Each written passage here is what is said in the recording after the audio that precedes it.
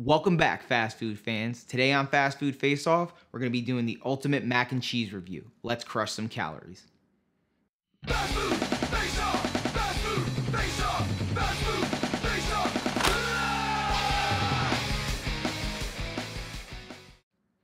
Now that spooky season is behind us, we're going into fall, we're going into November.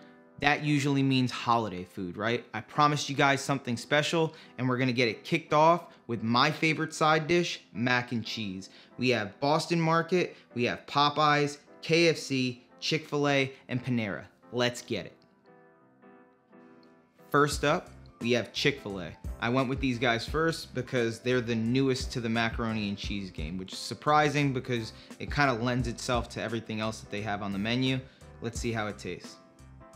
First bite. So that's really good. Super cheesy, super salty, a nice consistency. The pasta's done well, it's not overcooked. They even have, I don't know whether you guys can see it, but the crispy bits, which are kind of, you know, my favorite. I don't know. Your guys' mileage may vary, but I love when you get a little bit of that brown kind of bubbly cheese on there. And this is pretty impressive mac and cheese considering this is a fast food place. What's up, fast food fanatics? Today, I'm gonna be hitting you off with some fun mac and cheese facts and history, so stay tuned. It makes sense that Chick fil A would do such a good mac and cheese. Everything else on their menu is pretty killer, and it's a southern company, so it would be really disappointing if something that's a comfort side like mac and cheese wasn't done well by them. They, the cheese itself is nice, it coats the macaroni and cheese real well. It's not congealed in like an unappealing way, like sometimes you'll get that microwavable mac and cheese where it ends up being uh, chunks of cheese in a bad way. It's kind of like you know, congealed mess. This, it feels like it's real cheese, real pasta, and made by people that really appreciate mac and cheese. Like me. Not only does everyone seem like they have a mac and cheese recipe nowadays, but they're also convinced that theirs is the best. Don't believe me? A Google search for macaroni and cheese recipes returns 52.8 million results. That's a lot of cheese. Even though this is salt and cheese forward, the balance here is really nice. It's not uh, just a sodium bomb. Sometimes when you get mac and cheese, you only taste the salt and you're not really getting enough of the cheese in my opinion. With this, you're definitely getting the cheese aspect. It's really well done and it's again not surprising because Chick-fil-A's food is very good, you know, outside of their sides and um, this is no exception.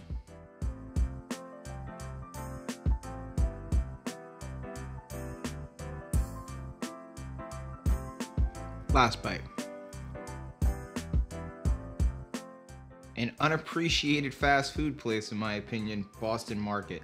The reason why I've been so reluctant to bring them into the fold in anything that I've done is I just had a very bad traumatic experience with them when I was younger that if you guys want to know about, ask me in a DM or in the comment section.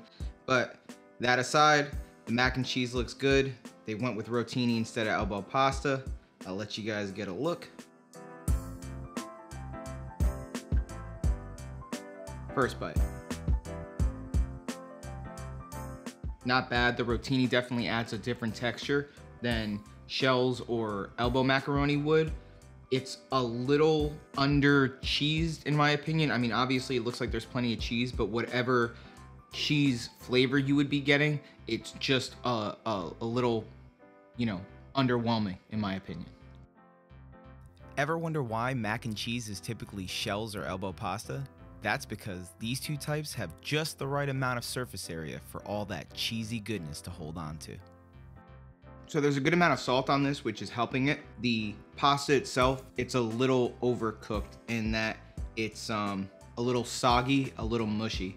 I like to have a bit of a bite to my pasta, almost al, al dente, maybe not quite al dente, but this is more on uh, on the side of mushy. But I, I tend to like a little bit of a bite to the pasta that I have. Still, not too bad. So, if you're new to the page, make sure to subscribe and turn on the notifications. If you're not, or even if you are, make sure to like this video and to share it around, please, so that we can grow that tasty vibe tribe. Back to the mac and cheese. There's definitely a buttery vibe going on here that's appreciated. I don't know if it's actual butter or some sort of butter flavoring to make it feel like it's more of a home style mac and cheese, but you do get kind of a rich butteriness, a creaminess that that it's it's being noticed and appreciated. Last bite. Next up, we have Panera. I'm really interested in trying this because one, it looks delicious. Two, it's shells, and I also think that they went with like a white cheddar. So I'm curious to see how that plays with the flavor profile and being different from the other companies that went the more traditional route. Let you guys get a look. First bite. Yeah, so right away, you notice a difference in the um, the shells, one, and then in the, the flavor of the cheese. It's just a subtle difference, but I think with the way that Panera markets and brands their other stuff, their sandwiches, their soups, the stuff that would accompany this, it makes sense why they went this route, and uh, I, I like it. It tastes really good. In 1937, towards the end of the Great Depression, boxed macaroni and cheese became popular due to its low cost. It was so popular, in fact, Kraft Foods sold over 8 million boxes its first year.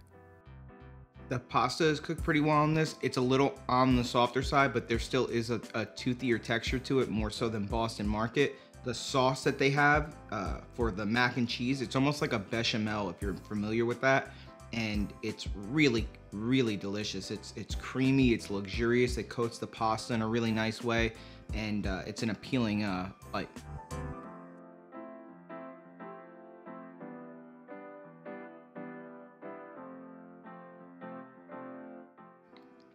If you guys can, head on over to our Instagram. We always put some fun stuff on there for you guys to kind of participate in, like some polls.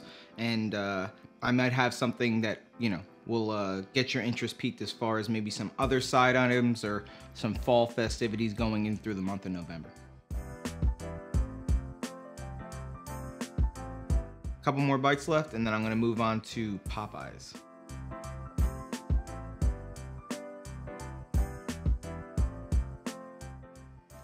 Next up, we have Popeyes. I've never actually had Popeyes mac and cheese. I've had a lot of their other sides on the menu, but uh, this does look pretty good. Let's see how it tastes.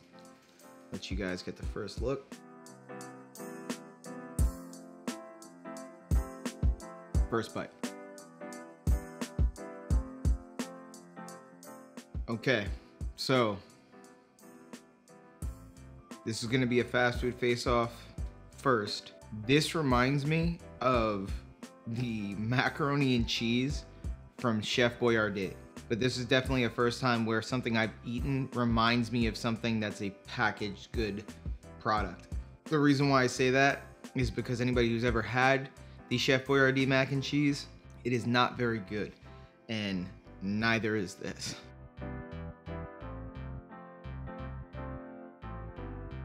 We're, we're this is this is a video of first, but honestly, this is not good enough to the point of where I, I genuinely don't think that it's worth my calories. Your guys' mileage may vary on that, but I, I don't I don't think I need to eat, you know, 16 ounces of this macaroni and cheese to let you know that the the flavor on this is just not very good. It's super artificially cheesy. The macaroni is soft and creamy um, as far as the cheese sauce is concerned. So, I mean, there's some at least redeemable qualities, but at the end of the day, it really is about that taste, and this is just not good. Last up, we got KFC. Hopefully, they do better than Popeyes. Looks pretty good. I'll let you guys get first look.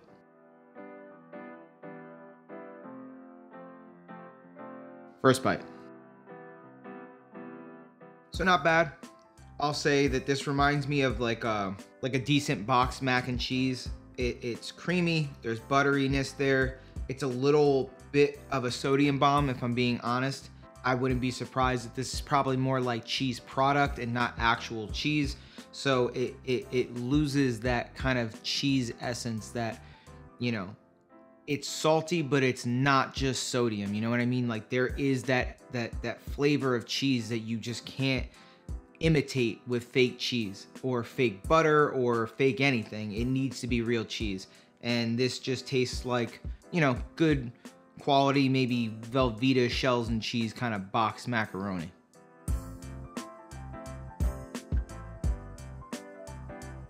So there's not a whole lot that can be said about this. It's you know really mushy pasta, salt forward. The the most positive thing that I could say about this is that at least it's it's creamy and there's a good amount of that cheese sauce.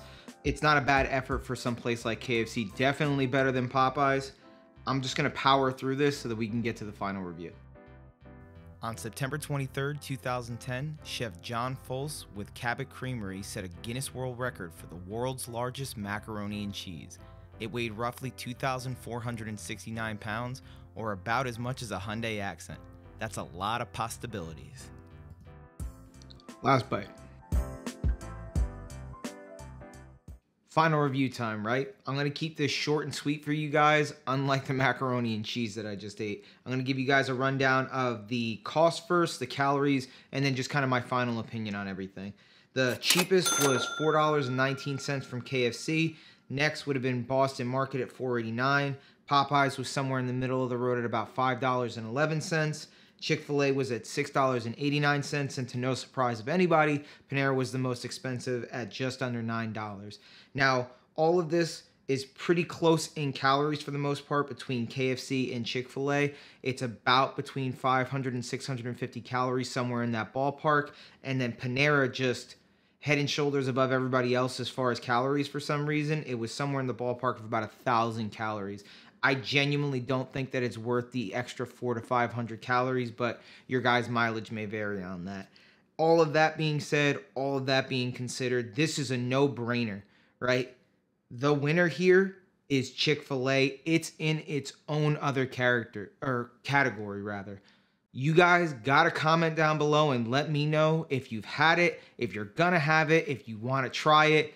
Let me know in the comment section. It's phenomenal so good that you should go out, grab that macaroni and cheese, get a whole bunch of it, bring it home, put it in a freezer until Thanksgiving, put that in a casserole dish, bring it to your Thanksgiving meal, and watch your mom and everybody else say that you're the next Paula Deen. It's me, Paula Deen. It's that good. It blows my mind how nobody's talking about how good that that Chick-fil-A mac and cheese is. It tastes homemade. It does not taste like a fast food mac and cheese. That all being said, everywhere else was kind of middle of the road except for Popeyes. Let's not forget just how bad that was. They were low key taking it off the menu in 2020. I found it at my local Popeyes. You guys might be able to as well. It does not taste good. Let us let it die with everything else in 2020, right? The other companies, Boston Market, KFC, Panera, they were somewhere in the middle of the road. I think that you can liken Boston Market and Panera to something like a really good box macaroni and cheese. Like Panera kind of reminded me of the the white cheddar Velveeta shells and cheese. It was pretty much on par with that. So if that's your vibe and you kind of dig on that, then Panera is definitely going to be where you guys want to go. I would say Boston Market and KFC reminded me a bit more of, say, something like a Kraft macaroni and cheese, you know, kind of that artificial orange powder that you put in. I'm not judging anybody. I know that that's kind of one of those nostalgic things for some people. And if that's something you vibe on, then I think KFC and Boston Market is going to be where you guys would probably spend your mac and cheese money. Thanks again for watching, guys. We really appreciate it. We appreciate you joining us for our first week of our holiday food series. We're going to be doing a few more weeks of this with some real fun and exciting stuff. Let you guys vote on some of it. And remember, if you are what you eat, always eat amazing.